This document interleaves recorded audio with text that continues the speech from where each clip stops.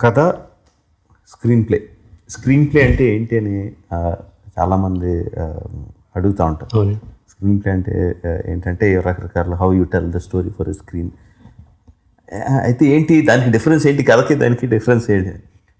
నేను వేసుకున్నది ఏంటంటే కథ అంటే ఎమోషనల్గా ఫీల్ అయ్యి మనం రాసుకునే సీన్లు దీంట్లో ఇది ఉంది దాని వెనకాల ఈ ఈ డైలాగ్ చెప్పడానికి రీజన్ ఉంది దీనికి ఇది ఉంది స్క్రీన్ ప్లే ఏంటంటే డిస్ట్రిబ్యూటర్లు అడుగుతుంటారు సార్ మాస్ సాంగ్ ఉందా? సార్ ఫైట్ ఉందా? ఫైట్ ఇది ఉందా?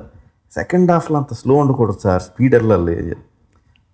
చాలా చిరాకు కథకులుగా ఈడేవిడ అసలు చెప్తాడు చిరాకు. బట్ అది స్క్రీన్ ప్లే స్క్రీన్ ప్లేకి స్టోరీకి ఒకదానికొకటి పడదండి. మనం బలవంతంగా రెండిట్లే పెట్టాలి. అంటే సినిమా స్టార్ట్ అయ్యి పది నిమిషాలు అయింది ఇక్కడ ఒక ఎమోషన్ లెగాలి. అన్నది డిస్ట్రిబ్యూటర్ లెక్క. గోల్డ్ అన్ని సార్లు థియేటర్లో కూర్చొని చూసి చూసి జనాలు బయటకు వెళ్ళిపోతున్నారు జనాలు ఊపు రావట్లేదంటే ఇంత స్టార్ట్ అయ్యి ఇంతసేపు అయిందంటే ఇక్కడికి ఎమోషన్ లెగాలి. అన్నది అతని పాయింట్ అంతే. ఆ ఎమోషన్ ఏ విధంగా లెగుస్తుంది ఎందుకు లెగుస్తుంది కథలో దానికి సందర్భం ఏంటి అతనికి అనవసరం.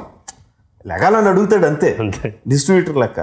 కథకు సంబంధం లేదు. పది నిమిషాలు అయితే ఇరవై నిమిషాలు ఏంటి? ఎప్పుడు లెగాలో అప్పుడు లెగుస్తుంది అంటది. కథ. సో ఆ రెండింటిని కరెక్ట్గా మ్యాచ్ చేయగలగాలి.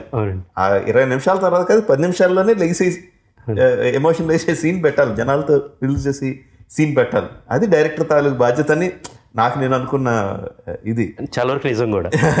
ఇప్పుడు మీరు ఎక్స్ప్లెయిన్ చేసింది పర్ఫెక్ట్ డ్రాఫ్ అది. అవునండి. కథగా మీకు పర్ఫెక్ట్గా సింక్ అవుతుంది. అవునండి. డిస్ట్రిబ్యూటర్ అడిగిన కరెక్ట్ ఇలా దించి ఇలా కొట్టాలి. డిస్ట్రిబ్యూటర్ ఆ టైంకి ఎంతసేపు ఇలాగా సరదాగా నవ్వేటట్టు చేసి జనాల్ని బాగాలైతే చేస్తే ఆ జోక్ నవ్వుతా భలే చెప్పేట్రా అని నవ్వుకుంటున్నట్టు చేసి దే అంటే వెనక్కి తిరిగి చెప్పి రైస్ చేయడం అనేది డిస్ట్రిబ్యూటర్ అడిగేది కథ కూడా రాసేది రెండు సింక్ అవడం. అవును సార్. డైరెక్ట్గా దట్స్ యువర్ అక్కడ సక్సెస్ మేజర్ సక్సెస్ అవును సార్.